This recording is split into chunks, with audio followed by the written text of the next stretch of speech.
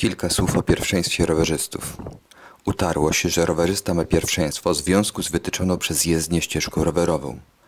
Panuje mylne przekonanie zarówno wśród kierowców, jak i samych rowerzystów.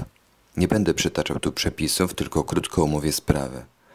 Jeśli ścieżka rowerowa przebiega przez jezdnię i nie jest regulowana sygnalizacją świetlną, to kierowca auta nie ma obowiązku zwalniać, zatrzymywać się, widząc dojeżdżającego do skrajni jezdni rowerzystę. Przeciwieństwie do idącego pierwszego, któremu powinien umożliwić przejście, widząc, że ten zamierza wkroczyć na pasy.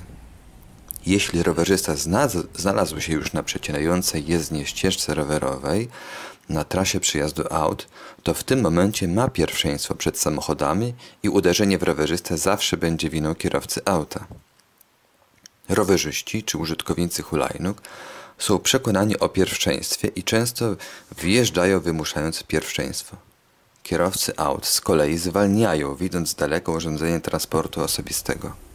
Inna sprawa ma się z sygnalizacją, kiedy to auta skręcając w prawo muszą ustąpić przejeżdżającemu rowerzyście. Tak samo, skręcając bez sygnalizacji, ma obowiązek ustąpić pieszemu rowerzyście. Oczywiście mowa o przepisach, a nie kulturze.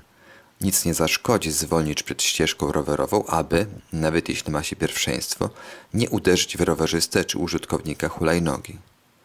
Podsumowując, rowerzysta powinien ustąpić pierwszeństwa autom, jeśli ścieżka rowerowa przecina jezdnię i ciąg aut jadących na wprost.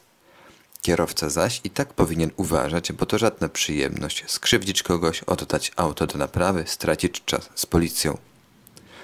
Film ma na celu uświadomienie o obowiązujących przepisach i nie jest zachętą do zwarcia. Nic się nie stanie, gdy będziemy uprzejmi i będziemy promować ekologiczny transport, który także zmniejsza korki uliczne.